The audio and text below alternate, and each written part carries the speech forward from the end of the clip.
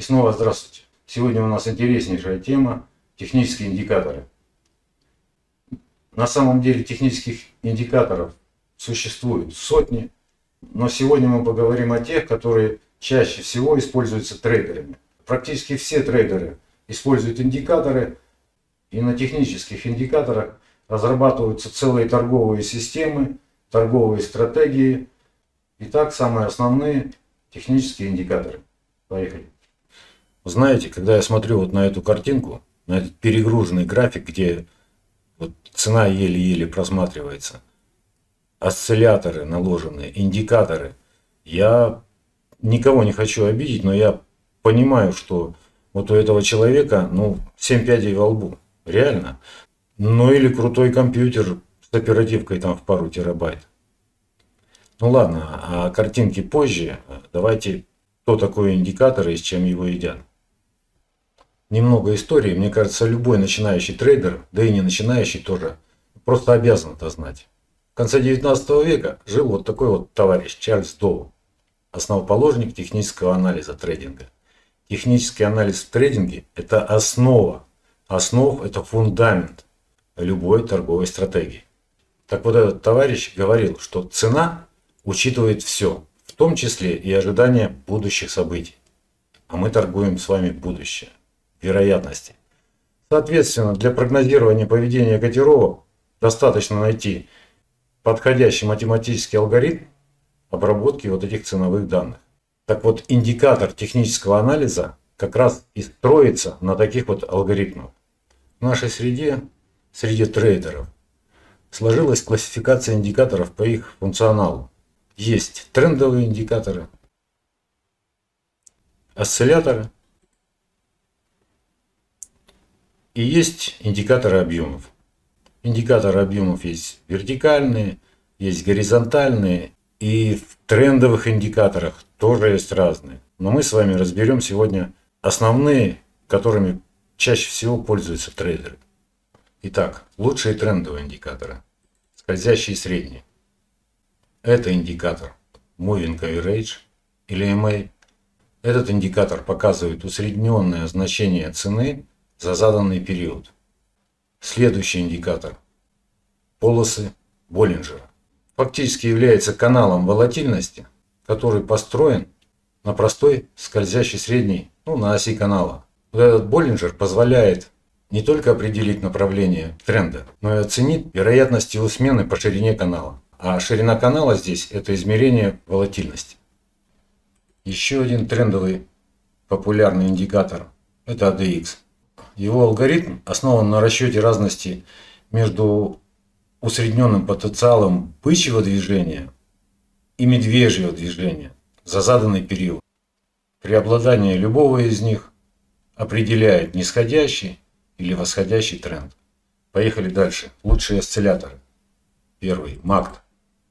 Этот индикатор рассчитывает расстояние или разность между двумя ЕМА Таким образом, пересечение скользящих средних считается моментом смены тенденции.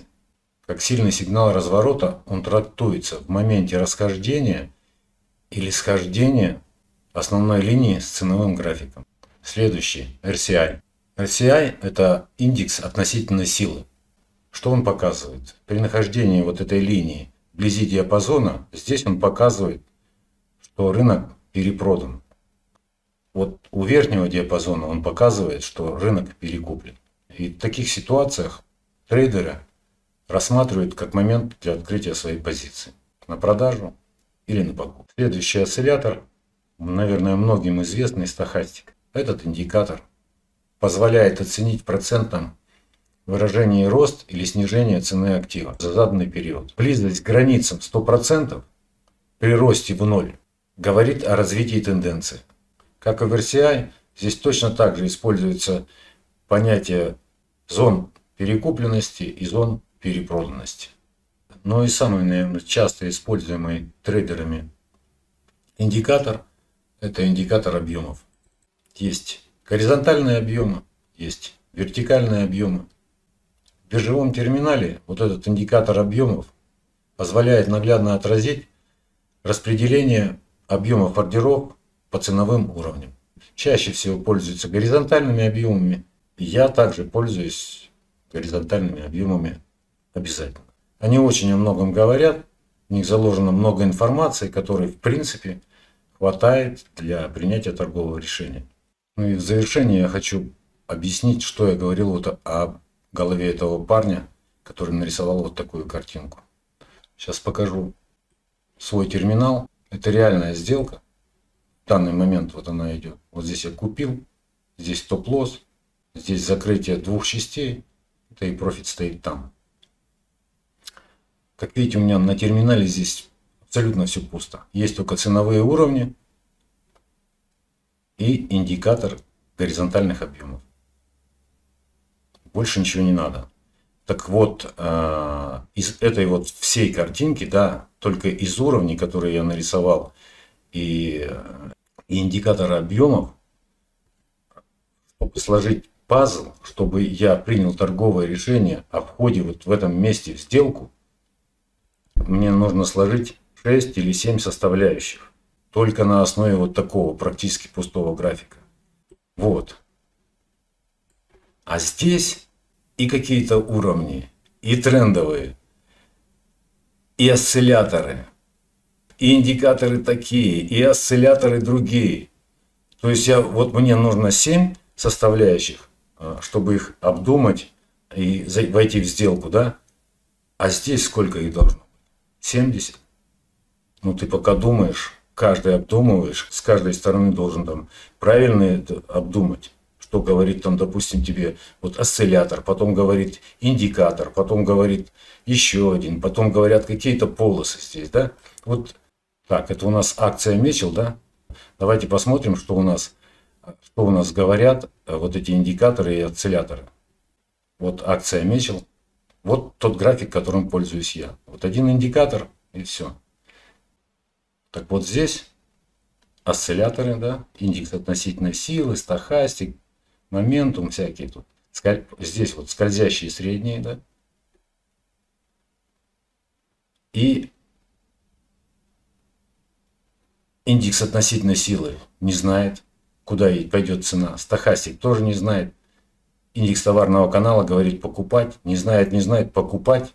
Уровень МАК продавать, нейтрально покупать, нейтрально. Следующее, продавать, продавать, продавать покупать, покупать, нейтрально продавать, покупать. Так что делать? Как вот эти вот все индикаторы просчитать, куда все-таки покупать? Или все-таки здесь продавать вот здесь? Ну и какой из этого вывод?